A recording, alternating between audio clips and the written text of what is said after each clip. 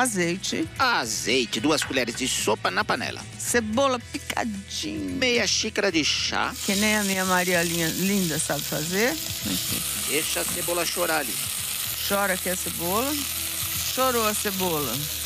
Põe um tomatinho, esse nosso tomate aqui tá meio verde, pode pôr mais madurinho, Meia xícara de chá também. que a gente não tinha. Aí, aqui.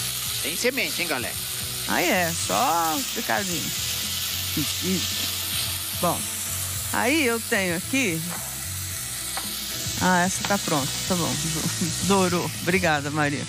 Dourou bem, Uhum, cinco Hein? minutinhos dourando. estando douradinho. Eu vou pegar esse aqui, olha, são 300 gramas de peito de frango cozido e desfiado, sem tempero nenhum, gente, Maravilha. tá? Sapeca lá no tomate com a cebola.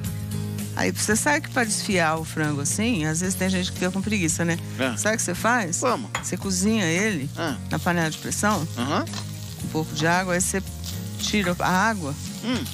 e aí você pega a panela de pressão e faz assim, tic, tic, tic, tic, tic, assim. Tá me tirando que o frango desfria só Balança chacoalhando assim, a panela. Não é, Maria? Faz Caraca, mano. tic, tic, tic, tic, tic, tic, Fica assim, ó. Você não precisa ficar desfiando. Desfiando com um garfo, que é chato pra caramba mesmo, ficar desfiando frango com garfo. Pois é, agora eu vou temperar, porque não tinha sal nenhum, né? Uhum. Vou pôr é, pimenta do reino, Hum, delícia. Ao seu gosto. ao seu gosto. Vou botar páprica defumada, Um quarto de colher de chá. Ó, só um golinho. é, que essa vai dar uma corzinha e um gostinho, um gostinho muito bom. E vou pôr cominho moidinho. Meia colher de chá. Cominho Ah, isso com é ele. demais. Nossa Aí, senhora. cominho dá um gosto bom, né? Uhum. Aí faz um refogadinho aqui, Cinco minutinhos mexendo pra lá e pra cá pra refogar. pra pegar o gostinho. Se faltar um bocadinho de azeite, você põe um pouquinho de azeite aqui, viu? Uhum. Pra não ficar pegando no fundo ou abaixa o fogo. Porque o meu fogo aqui tá muito alto. Escuta o cheiro aí em casa, minha senhora. O teu cheiro. Ô, trem bom. Aí eu vou botar um pouquinho de azeite aqui pra ajudar a não grudar lá embaixo. Nossa, é sempre bom. Aí a Maria mexe aqui pra mim, pra gente não perder o ponto. E esse aqui já tá pronto, ó. Tá vendo? Vamos mostrar aí de cima? Ó que belezinha. Ó que beleza que ficou. Bonitão, hein? E aí eu ponho num lugar lá e deixo esfriar. Uhum. Deixei esfriar, vou fazer agora o que vai me permitir montar essa torta Boa. na minha forma. Vou pegar. O que, que você acha que é isso aqui? Você adora isso aqui, Lourinho? Deixa eu ver. Deixa eu... Ah, requeijãozinho. Sempre bom. Necessário pra vida. É. Requeijão, Uma xícara de chá de requeijão. 200 gramas mais ou menos. de- Hum? Mais ou menos não, 200 gramas. Esse negócio É mais que ou o menos. negócio é certo. Pronto, acabou. Quatro ovos com quatro gemas. Ai, ai, ai, ai. Ai, ai, ai. Quatro Aí, gemas. Quatro gemas e quatro ovos. Aí eu vou pegar aqui, Lourinho, Ah, e vou misturar. Para começar isso, ah. para não ter problema depois, a gema e o ovo todo com o requeijão. Dois minutinhos batendo ali, minha senhora, até ficar bem homogêneo. Olha lá. Não Já pode- tá ficando rapidão. É, mas não pode ficar esses pedacinhos de requeijão me olhando. É, não. tem Tá. que misturar. Dois minutinhos, ó como fica, ó. Tchan, tchan, tchan, tchan. Fica um creme. Tá vendo? Olha isso, que beleza. Fica um creme. Creme, fica um, parece um leite, né? Leite condensado. Parece... Ai, não fala isso que me dá uma gastura de vontade de comer. Aí eu vou colocar Ah, é, farinha de tapioca, bem fininha. olha, uma xícara de chá de farinha de tapioca. É, 140 gramas de farinha de tapioca. Maravilha. Aí ponho aqui. Aí misturo. Vai incorporando a tapioca Vai ali nessa mistura. Isso aí. Então, é a tapioca que dá a pioca do negócio. Dá o entendeu? quê? A pioca.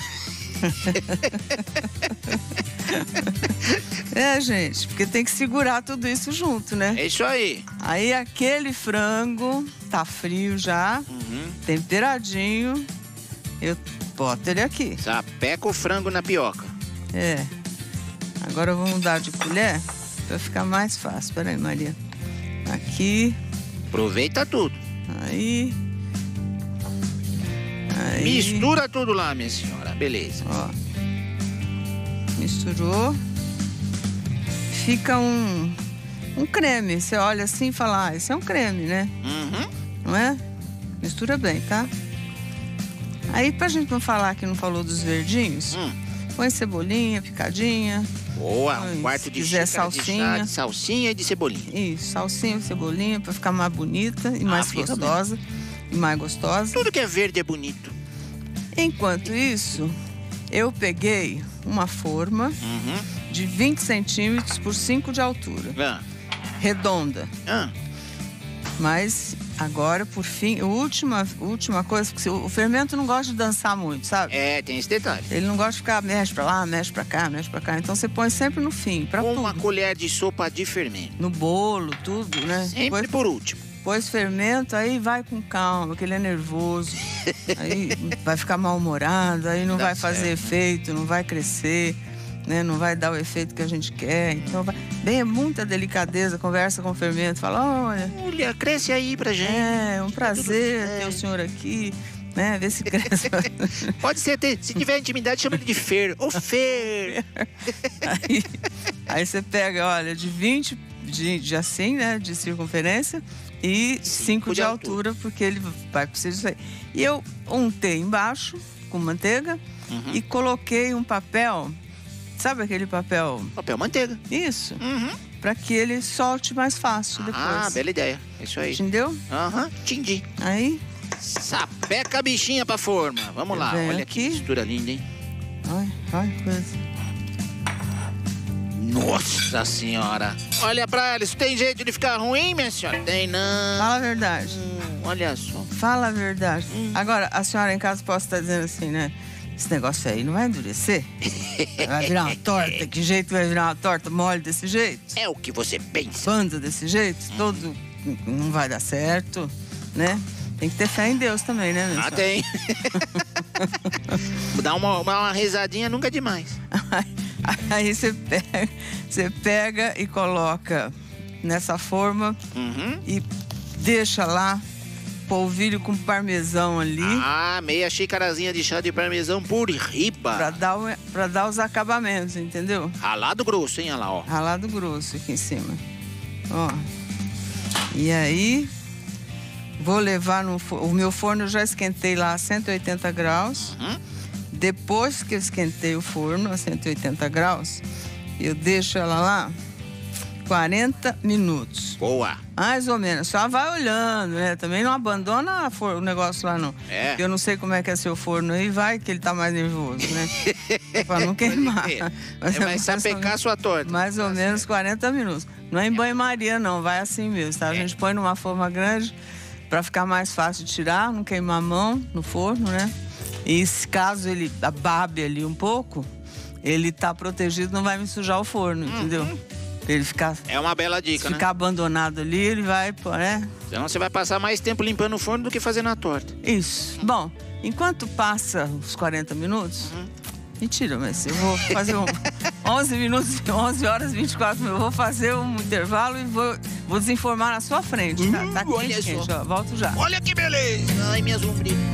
Você acha Hum. que a minha torta que tá ali, que eu vou tirar da, da, da forma agora, Ah, ela tá dentro, cozida e não vai sair aquela, aquele creme? ah, eu tenho certeza que ela tá divina na Maria. Não vai virar um creme nem Vai nada? virar nada, vai virar nada. Olha tá lá. soltinha, ó. Ó, ó. nossa, que beleza. Porque embaixo ela já tá soltinha porque tá com papel manteiga, né? Aham. Ó o gratinado do parmesão. Olha o gratinado do parmesão. Aí eu vou Ô, fazer assim, ó. Eu não quero queimar a mão. Aí. Cadê? Aqui. Aê. Vem aqui. Olha isso. Passo assim. Uh! Na Maria do céu. Aí. Agora tu bota. Peraí, vem cá, neném. Aí. Aí virou. aí. Mano, ela faz isso de um jeito tão fácil. Caraca. Aí, ó. Olha, Se fosse gente. eu, eu ia emborcar a torta toda. Olha que lindo. Olha que beleza. Vou cortar, hein, Lu? Oba. Vou cortar ela no meio inteira. Opa, metade pra mim, metade pra você, isso. Tá combinado. Olha a maciez da bichinha. Olha isso. Ah, meu pai. Dá pra fazer hoje, hein, minha senhora? Dá pra fazer hoje. Gente, vocês não acreditam o seguinte, ó. É que é, é, é, é frango puro, sabe? Uhum. Não é. Você viu que não tem? Tem nenhuma farinha, só tem uma tapioquinha que é saudável, ó. Aqui. Me... Olha a cremosidade dela. Ah, ah, Como é que pode? Ai, Ah, Alan, serve um pedaço para aquele papagaio É, ali. pode ser o que sobrou ali, não tem problema. Ó, agora vamos ver aqui. Aí. Manda brasa aí na Maria que eu já mando já já aqui. Olha, gente. Tá sentindo? Obrigado, Alanzinho. Já pego aí já. Deixa eu ver se a Ana Maria solta o cachorro. Ô, gente. É um negócio, é um negócio sério mesmo. Eu diria que é a melhor torta de frango do mundo. Quer saber?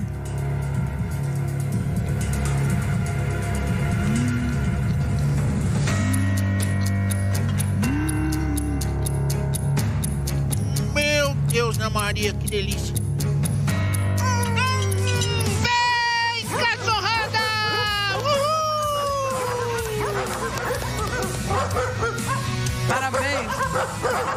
Parabéns a todos os envolvidos. Olha, dá pra comer na mão aí sim. Olha aqui, gente, ó. Essa aqui é minha pra garantir. Tá boa demais. Faz em casa, minha senhora. Faz em casa.